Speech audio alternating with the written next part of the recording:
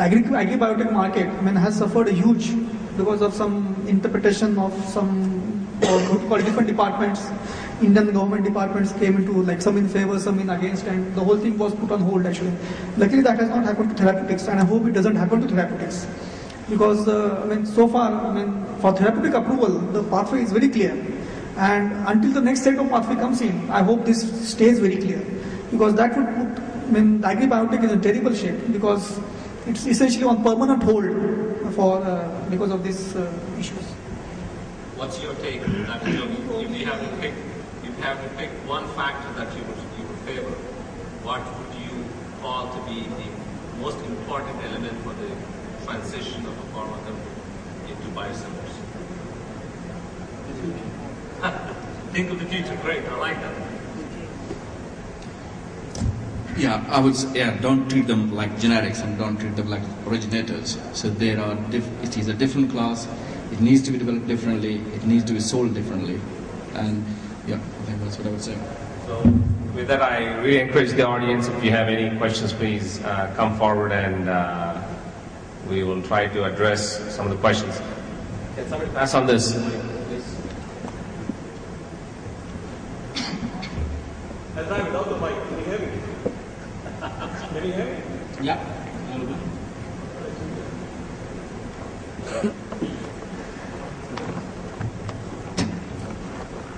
Uh, my name is Tarun. This is a follow-up question to Dr. Verma's presentation. I like your two slides, which show the difference in the regulatory between Europe and India and uh, how the market opportunity is very different.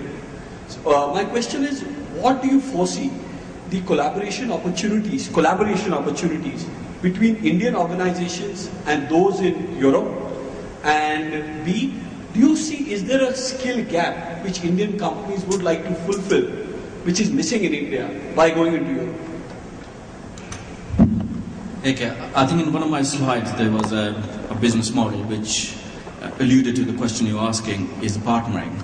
So some of the companies which were which were late entrants but now want to enter the biosimilar market, very big names. They have the cash, they have the cap- regulatory capabilities, they got the manufacturing capabilities. The one thing they don't have is the molecule. Uh, and the Indian companies, they do have the molecules, and the rest of the things they might not have. So it's a perfect, perf- perfect marriage. Uh, so I can't answer your second question, but the Indian companies uh, have a skill, where the skill gap in Indian companies because I'm not particularly aware of it. I'm sure Dr. Kubrekar will be uh, easy to. I mean, this kind of partnership has happened with uh, Intas Biopharmaceuticals. Uh, we have a relationship, it's a public, uh, with for the GCSF and Tech GCSF with company called Apotex. It's a generic company based in Canada uh, for both European and US markets. And uh, the what we, the module 3 part of CTD, what we call CMC part, is with Intas and module 4 and module 5 is with, uh, with, uh, with Apotex.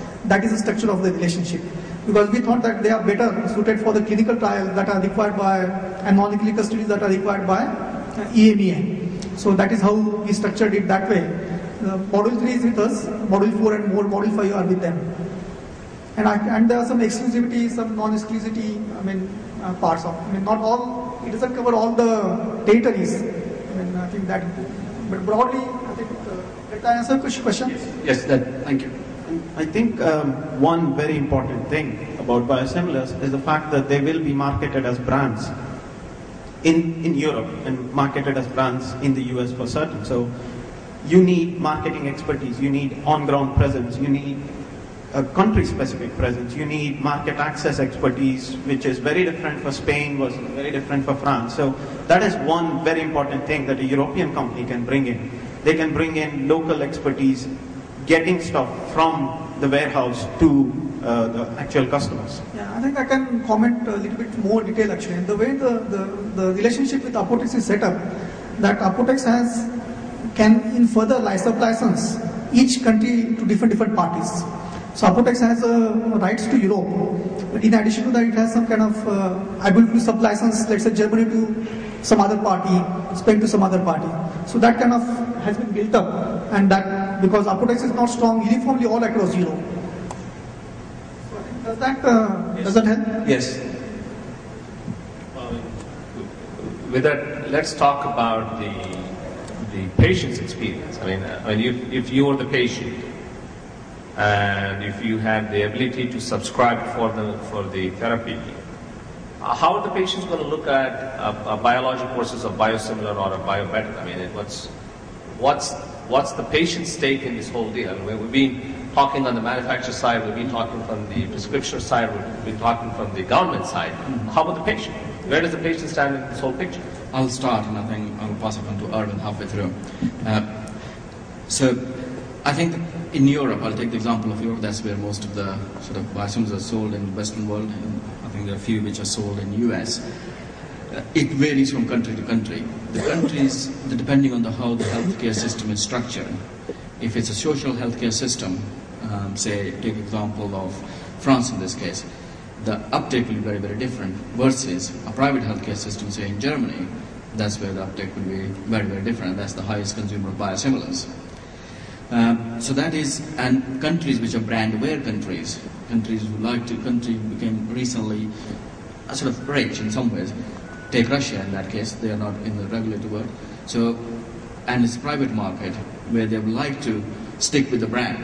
And it might, in, in some segments of Indian society, that might follow as well. So there's countries who like to associate, or people who like to associate themselves with the brand. So even if the generics available and countries in, in the southern, southern parts of um, Europe, like Spain, Greece, Italy.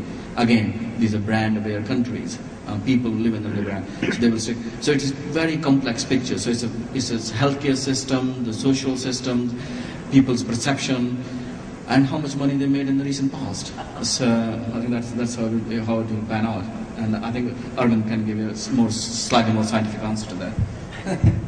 Well, I don't know about that, but uh, um, the, if an EMA approves a biosimilar, it says very clearly, when it is an EMA approved biosimilar, it means that we feel that this product is as good for the patient as the originator product. And that has been EMA's main goal in making these um, biosimilar guidelines. And that, uh, if you look at the FDA interchangeability guidelines, that is what the FDA is aiming for as well. Now, I think the patient, in many cases, as Dr. Verma said, he, uh, patient does not have much of a choice. These are extremely expensive drugs. Um, you're talking about $50,000. Um, there's very few patients who pay out of the pocket, even in rich countries. So these things are decided at the clinician level.